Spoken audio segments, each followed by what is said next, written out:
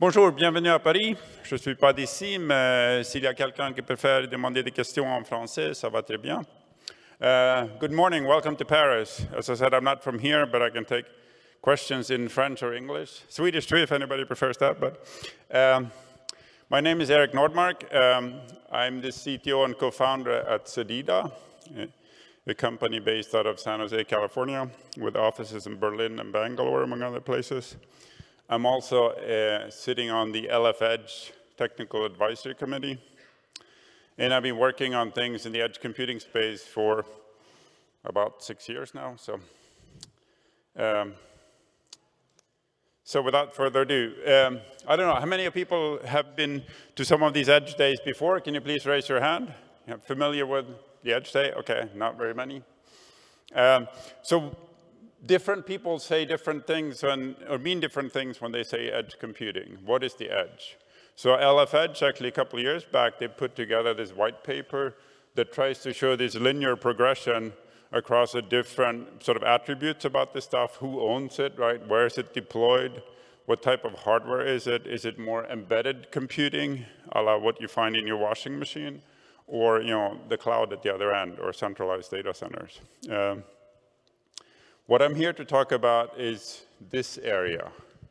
So I like to refer to this stuff as the distributed edge. It's actually things that are more spread out physically. Um, it's devices that are capable, I mean, they typically run Linux by and large, but they have enough sort of spare capacity that you can deploy different applications, as opposed to the constrained edge, which might be, you know, it's a thermostat, it's built to be a thermostat and nothing else, or it's a pump controller in a factory, um, more, more, specialized single function devices. So that's sort of the context. Um, but how is this edge different than what you're used to? Well, people scale Kubernetes, but they scale it to 10 clusters with 10,000 devices. Here you have to flip that around. It's 10,000 clusters, each one of them might have one device or three or five, but you can think of them as sitting out on, these are some trucks sitting out in, in, in, at oil wells doing analytics, right? Each one of those things is, can be a Kubernetes cluster. Um, the other thing that's key is that they're remote. And what does remote mean? Well, this is a solar farm. Uh, it's not one of the ones where we run stuff, but, but, but it's similar that it's very remote. You have very limited connectivity or, or uh, intermittent connectivity. Um, you have no IT staff. Even out on those trucks, you don't have IT staff. You have staff. You have people that know how to, in that case, operate an oil well. Um, but they don't know anything about how to reconfigure a firewall, right, uh, or anything else in that domain. And in some of these cases, there's nobody there. It could take you know, hours, days to get there to these, some of these sites. So that's the edge. And people, by and large, they see that, okay, we're deploying you know, containers, Kubernetes in the data center. How do we bring that stuff to the edge? Uh, to this edge, right? Because they want that, that fluidity, that, that being able to deploy things rapidly, um, to add new functionality, et cetera. So that's the challenge that we are trying to help them with in LF in general.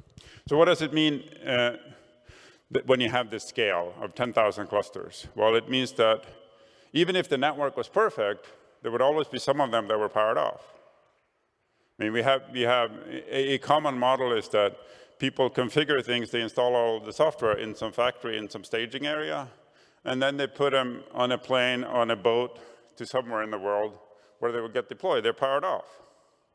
We have other places where where you know, the machine that this thing sits in in a factory floor, it's powered off at the end of the shift. So the computer, industrial PC sitting in there is powered off as well. So you can't actually assume that things are, powered, are accessible. Plus, in any big network, right? My background has been around the internet and you know TCP/IP, and you can blame me for parts of IPv6 if you want. Um, is that the internet is always broken, right?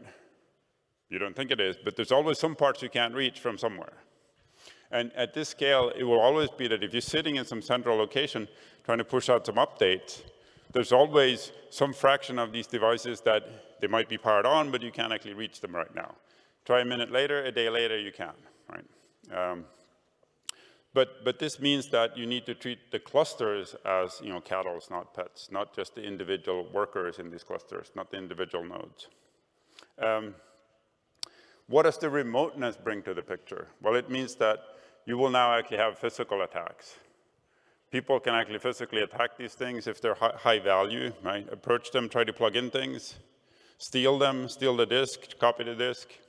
Yes, in many places people have fences, cameras, etc. But it will take, you know, there's no staff there in many places. So if you want to send out the police, they will show up, you know, hours later. So the, the server will already be gone. Um, and, and the network, um, we were surprised when people said, oh, we have satellite backup when we're remote, but we don't want to use it because it's expensive. So basically, you want to orchestrate the stuff um, just like you do in the cloud, where you say, I want to push updates. But those updates are not going to get there until this job is done at the site three days or a week later. Um, but you still want to have the same flexibility of going push, pushing this update, but you won't get any feedback and it won't happen, right? There's other things where even in a factory, there's various um, architectures, security architectures that mean that you have multiple layers of proxies that, and static IP addresses because they're not used to dynamic things like DHCP that everybody else runs. They, they're used to nailing everything down, right? Um, so it means that you need to have a different way of configuring things as well in terms of being able to get out through those layers of proxies with the proxy certificates, etc. So it's, it's different. I mean, it's all the same technology that we're used to, but the environment's actually quite different.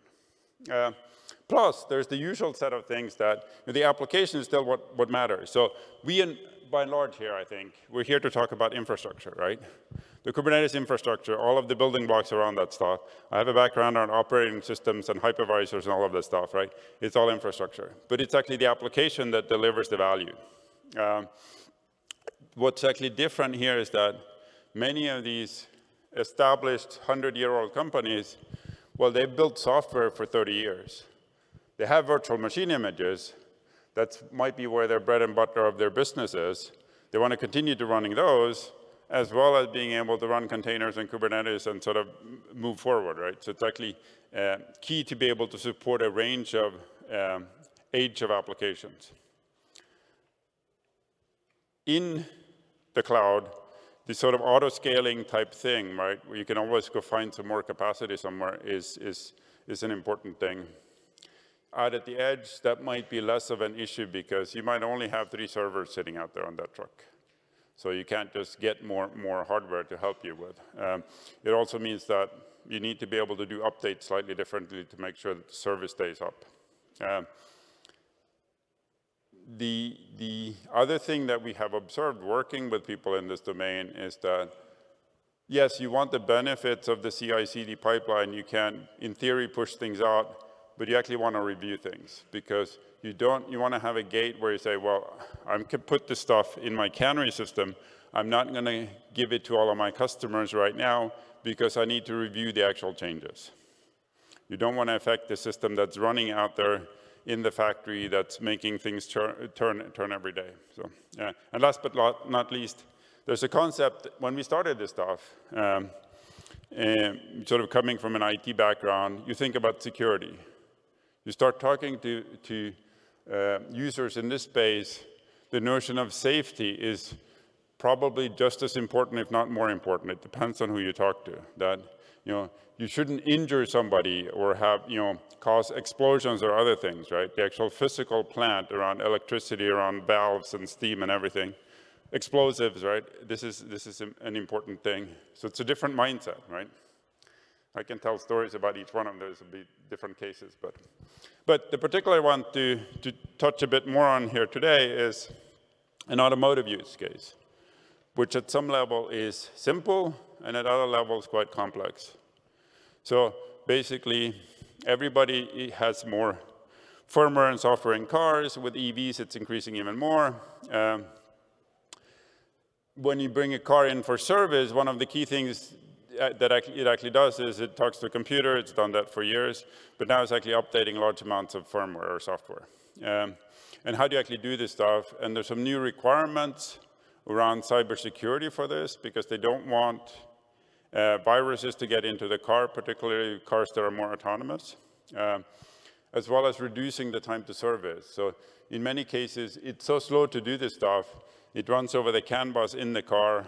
Uh, you know, it can take hours to update software just because of the speed of that bus, right? And this is reducing the capacity of the actual dealer to do service.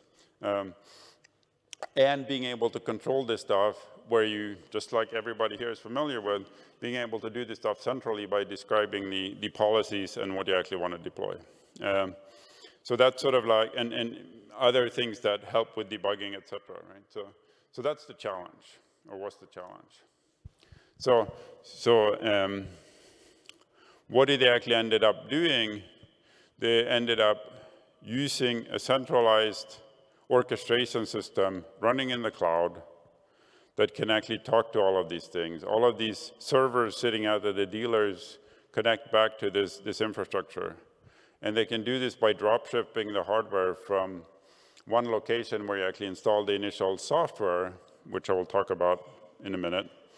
Um, and then the actual applications can get deployed after that. The containers can get deployed afterwards. Um, and, and being able to run the whole lifecycle management with updating the software, et cetera.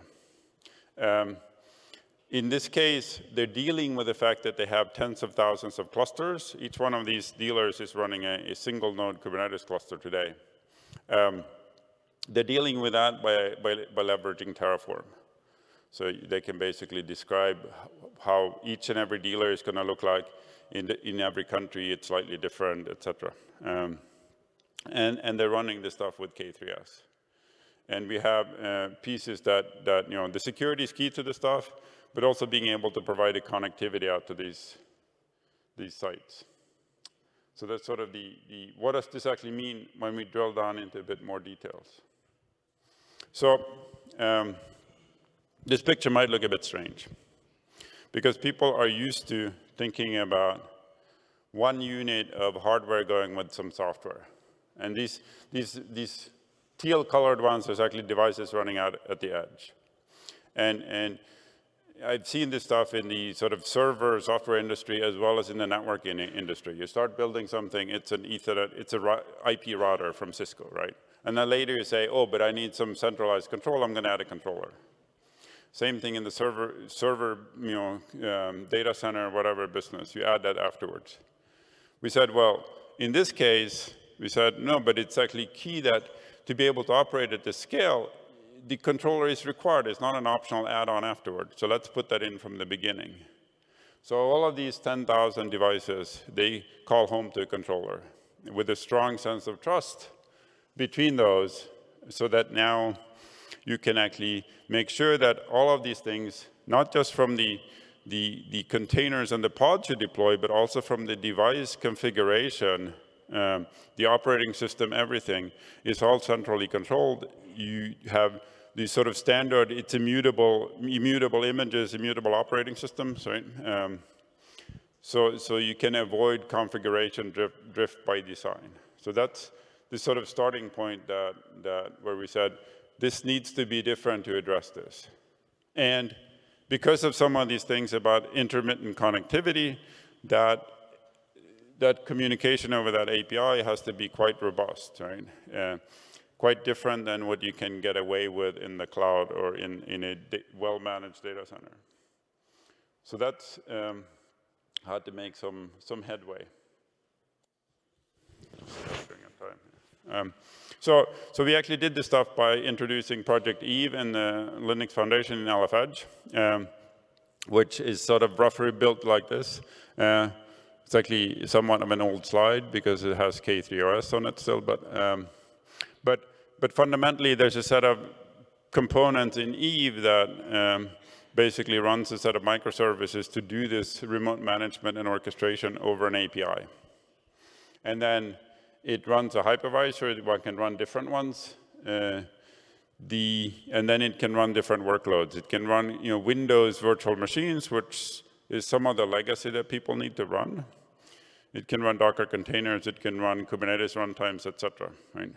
Um, one of the little things that is always on this picture is a trusted platform module around security, but that's um, a, a, key piece in the hardware. And then, you know, for people that are familiar with server virtualization, the part, the part that there's different hardware here, like GPUs and whatever, those are all resources that are assigned to the applications. So, so it, it gives you the sort of flexibility, the things that we saw in the data centers like a decade or so ago about the server virtualization where you can decouple the workloads from the underlying hardware. But there is a lot more direct access to hardware in these cases because it's also dedicated um, sensors, uh, different networks, etc., that shows up out here. Um, so, connectivity in a bit more detail. Um, when you think about the network uh, in the cloud in the data center, well, you know, this, it's sort of the, the two first bullets here that, you know, you connect to one Ethernet, one virtual Ethernet, whatever, that the, the, the cloud provider provides you. Implicitly, this is one, one security group. And then in, as you got into the field, you'll find that there might be separate shop floor network, the one that connects to the machines, hierarchically potentially, right? So that's a separate one. And then you might have static IP addresses, HTTPS proxies. You might want to have fallback, um, intermittent connectivity, air gapped in some cases. Okay, that's fine. I can go configure that stuff. I can go deploy it. What happens when I want to change this configuration? And the fundamental premise is that these devices, they must always be remotely manageable, right? So now, how do you prevent yourself from, from cutting off the branch you're sitting on when you go do these configuration changes? Um, well, what we did in, in, in Project Eve, we did AB network config, basically the same way that when you deploy mutable operating systems and update them, right? You have AB partitions or AB um, images, whatever, right? So you can actually test one before you commit to it.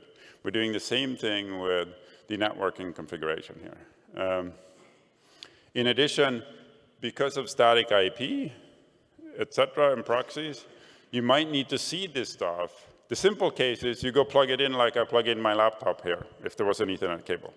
And it gets an IP address, it, it can talk out, at least talk out to the internet over HTTPS. Um, in these cases, that might not be possible, so you might need to seed it with some initial configuration, like give it a static IP address. Well, these devices, they don't have keyboards and screens, and even if they did, there wouldn't be a user that would be trained on how to actually go configure that stuff. So the simplest one we come up with is that you either build that into the image you deploy, uh, so you get a unique image per device that contains its static IP address, or you have a separate sort of USB stick that it gets that seed configuration, that signed seed configuration from day one. Um, and the, the third piece that, that's key on the network side, I think, is that, that since you're going to have all of this volume of um, data potentially coming from these devices because of the number of devices, um, it's actually key that the actual interaction across this API uses eventual consistency so that you know it's all declarative, which we know, but also that you can actually do self-compression in the other direction. If you want to send notifications, you need to think about that stuff not as sending messages, but as as um, um, eventual sort of state replication. The state of this application is it's running, and now, or it's downloading the image, you know, the containers, it's now booting, it's now running, etc. Well, if you can't send those first messages, do you care? No, you actually care about the eventual state. So if the network is out, you don't bother queuing up all of those messages. So there's sort of patterns here that I think one needs or optimizes things running at the edge. Security. Um, so when you think about security, you sort of have to think about what are the um, threat, um, threat analysis. And you also have to think about where's the value that relates to that threat. So here, you know, we're deploying some software, some infrastructure software, I assert that that has zero value, right? In this case, it's open source, but even if it wasn't, it doesn't have much value. It's actually the, the either the application that these, these users are deploying them contains their own secret sauce, right? Um, things they want to keep secret, or it's actually the data that they collect and operate on. And that data can be very valuable, right? It depends, you know, sort of what's the value of knowing the state of, state of an oil or gas well, how much remains? Well, in aggregate, over a country, this is sort of elements of national security as far as I understand, right? How much oil does this country still have? Um, so you clearly want to think about that as the thing you want to protect.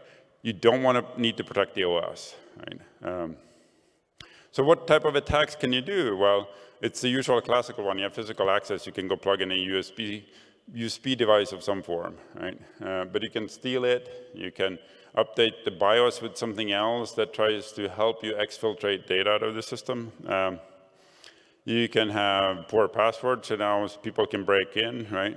It's also a question about who are you going to trust.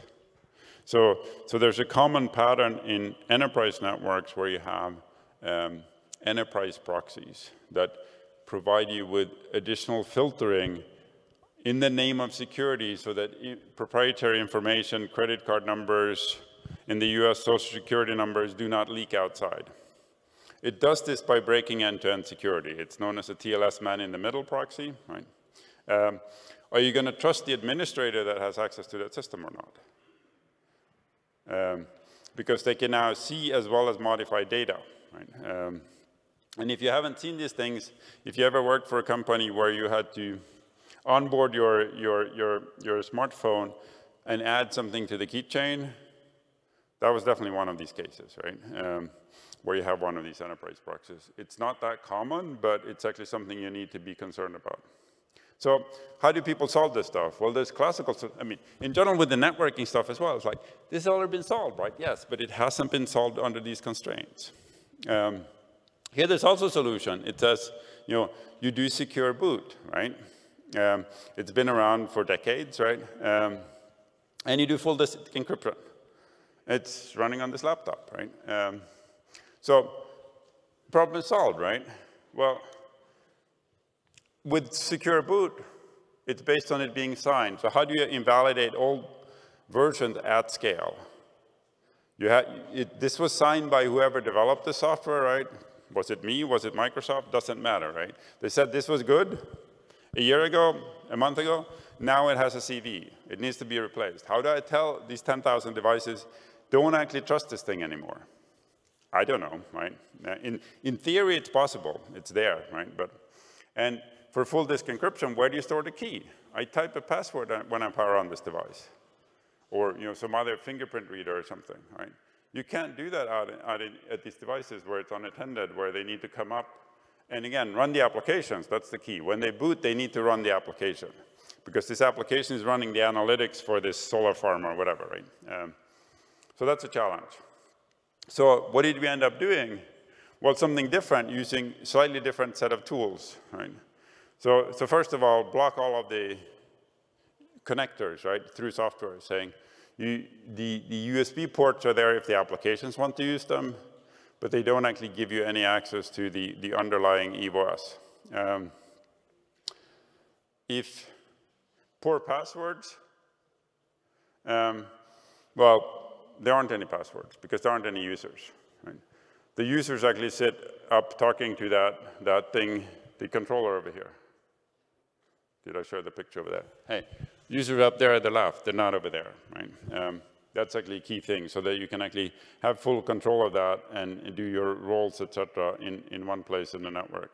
So, um, and then the rest is actually leveraging standard technology, which isn't very, very used, called measured boot and remote attestation, with some additional pieces, and this is a bit technical, but there's, there's, there's support where you can actually seal the keys for the application's volumes under the measurements of all of the boot chain that booted this device, from, from the hardware to the BIOS to the OS, so that you know that as long as I boot the exactly the same bits, those bits can now access these applications' volumes. If I change these bits, I need to go ask somebody, is this okay? And that's the remote attestation step, right? And with this, you now have flexibility. You can go out in the field and you can update the BIOS through whatever manual mechanism you have. You get different measurements. You just have to have someone that sits centrally and signs off saying that is okay. Because that is the new version of the BIOS we're rolling out. When you do that, you need to have network connectivity. When you just, you lose power and everything comes back on, you do not, right? Um, so that's sort of the, the key sort of contribution from this stuff that I think makes sense in, in most environments. So what does this look like in terms of deploying Kubernetes here? Um, this is sort of the same picture with slightly different graphics, but, but um, the, the thing that people do is that integration from, from this controller on the left uh, to, to something like Rancher or OpenShift or you know, different Kubernetes controllers um, that then communicate down to the Kubernetes cluster running on, on one or more devices out at the edge. And this uh, means that you, you now have sort of one piece that's managing the hardware and the network configuration and the operating system, as well as the set of Kubernetes runtimes and updating those. And you have another layer on top that actually manages the workload that you get deployed. But there's another piece, when you go deploy the stuff at scale, well, how do you actually make sure that these pieces actually come together? So, so one of the things that we've built as a pattern is this notion that, well, how do you bootstrap this stuff securely? Because you want to do this out at the edge. Um, well, there's a, a, way of seeding the stuff using the kubeconfig file. And the fact that we have this trust here, right, it means that we can have a little script inside that, that VM that pushes the kubeconfig file to the same place where you pick up your cloud init file. It's basically a local HTTPS post over here. We can then securely carry that thing so that you can now actually glue that in and you can carry that across so that you, you, as part of powering on one device, it automatically shows up in, in, in Rancher or, or OpenShift, right? And you just need to be able to designate this device belongs to whom, which is the onboarding step of the actual hardware. And, and in many cases, these pictures are actually more complex. The um, companies that care about security, they might say, well, yeah, maybe there's a little firewall there, but we actually want one that our IT department approved. So we're going to go get a commercially approved certified firewall virtual machine here that we're going to run. Well, who controls that one? And well, in some cases, it's actually a separate security services running in the cloud somewhere. How do you actually put this stuff together? And there might be SD-WAN for connectivity, et cetera, right? Um, how do you put this stuff together? Well, it's the same thing again. You need to be able to bootstrap this stuff at scale where you can actually tie things together securely. So there's another pattern that gets used in some of these things where um, some piece of software running on, the, on this device, it can actually use the same sort of cloud init communication path to go say, can you please prove that I'm running on this device? And, and, and the underlying infrastructure here in EVE-OS says, okay, I will sign that stuff using the hardware TPM that I have, and now it, you can actually pass it to your controller, and the controller can go back and check with the controller for the hardware, the device itself, and say, is this thing actually true? Is this device actually running at this site, right? And you do other checks as well, like do I have licenses and whatever if this is commercial software. So these patterns about being able to securely bootstrap this stuff at scale is actually key. Um, this might be a bit yeah, we're actually out of time. I can cover this stuff separately. But the, the same thing is, the same type of patterns show up even if you're deploying AI, using Kubernetes, deploying something else. You typically have something where you have some set of controller that worries about, in this case, the models, right? Not necessarily the, the, the workloads per se. And you need to be able to glue this stuff together. Uh, so actually the, the, the, exactly the same patterns, might be they're going to be slightly different uh, components, but that's the key thing we see here. So in summary, I think it's actually useful to think, if you're going to deploy at this edge, right, it's useful to think about what underlying software infrastructure do you need. Um, I think having something that's sort of immutable with a, with a strong foundation of security is key in some places. There might be other ones where it, where it isn't because you're running in a locked room in the back of every retail location, right? Um, And, and then you need to figure out which Kubernetes distro makes sense for this. How much space do you have? What set of features do you need? Um, we've chosen K3S in the deployments we've done with, with our users. Um, and then you know, how do you actually do this stuff? Think through what does it mean to roll things out when this actually involves rolling out hardware. So that you can do this with, with, with zero touch, right? And, and being able to bring up the hardware onboarding that as well as onboarding or creating the clusters. Um, so that was the example I give. But then we're not done yet. And I think that if there's people here in this community that wants to work on this, one of the things sort of like is, is Terraform the best way of doing this stuff? Or OpenTofu or whatever, right?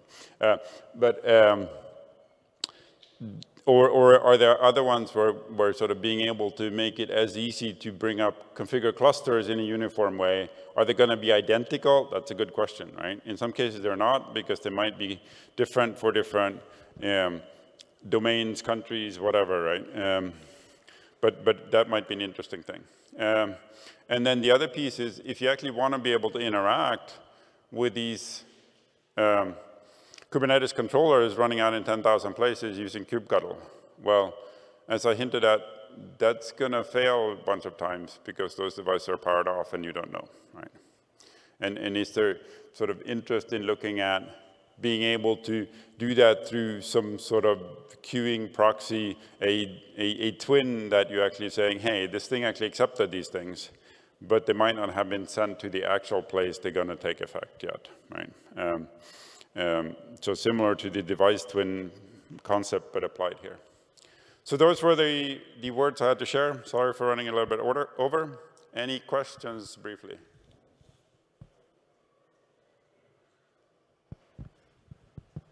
There's someone with a microphone running around the hallway. Oh, there's a question too. I can't see anything. But... Hey, uh, you mentioned MTLS for trust, and at the same time, the corporate man-in-the-middle proxies that break open the TLS connection. Like, kind of lost how you exactly oh. deal with them. Yeah, the, the, the, the M in MTLS should be within quotes. Conceptually, it's MTLS. But the reason that, that, and we actually started with the MTLS, and then we ran into this thing, and then we said, oh, we can't do that. So instead, it's actually TLS, where we not only is it mutual, but we trust any of the 100 root CAs you have you know, in Linux, 120, whatever it is today, right? But then on top of that, we have object signing and object encryption of the protobuf payloads that go over this stuff, selective object encryption. Um, and, and that is tied to a root certificate that's sort of unique for this, this deployment, so that you know that only if you're this car dealer, it's actually issued by their root CA, right? And, and, so, so you can't actually feed anything in. So at the TLS level, you, you, they can get access, but they can't see like the cloud init, the cloud init files contents, the any other credentials that float around. Those are actually object encrypted. Okay, thank you. Okay.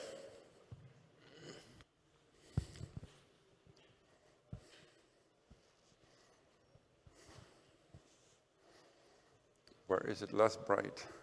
Um, yeah, okay. One question. Um, so you mentioned local threads, right? so because people have access to the hardware running on the local side, actually. So did you consider something like uh, confidential computing, for example, to decrease the trust boundary or some intrusion detection systems which really did check for anomaly behavior in the systems? I mean, measured boot is quite a good start, for sure, but I think can be improved.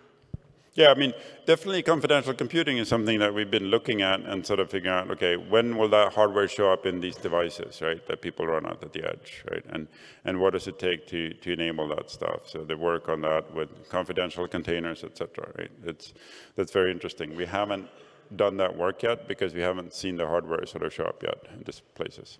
Um, in terms of sort of other physical attacks, yes, there, there's plenty of things you can find if you if you want to find out about how you can access, how, how, you can subvert hardware if you have access to the supply chains in various places, it's a bit scary. But uh, what can you do to motherboard that you can't detect with X-rays and visual inspection and whatever?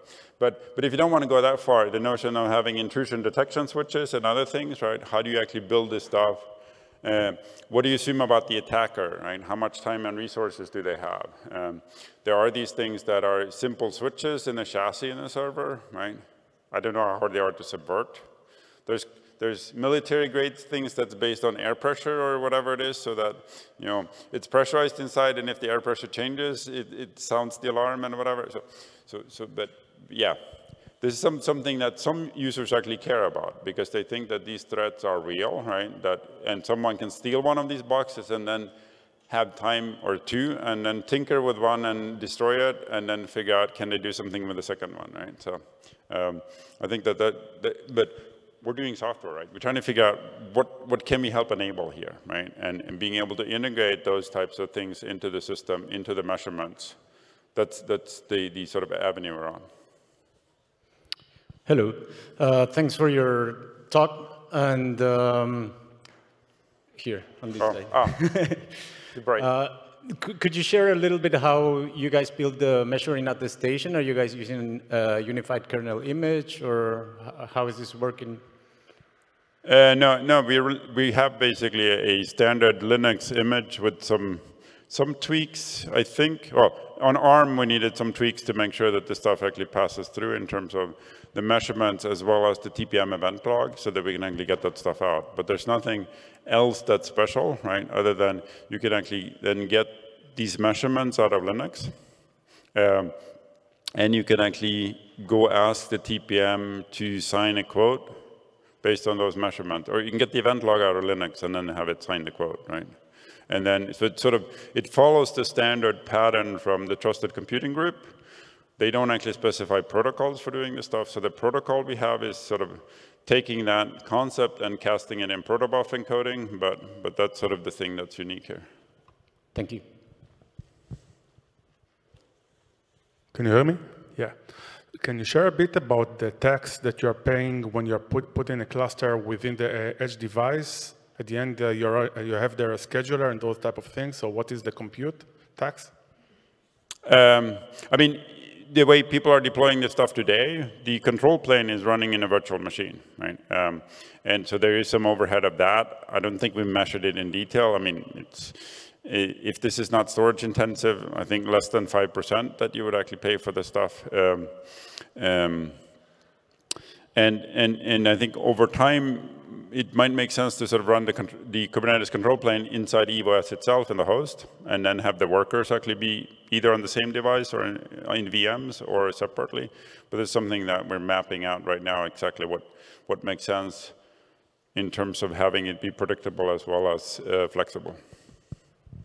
Um, another question, um, yeah. in case that you want to deploy more than one application within the edge device, can you share about how to create that network scheme that allows that uh, cross-application communication?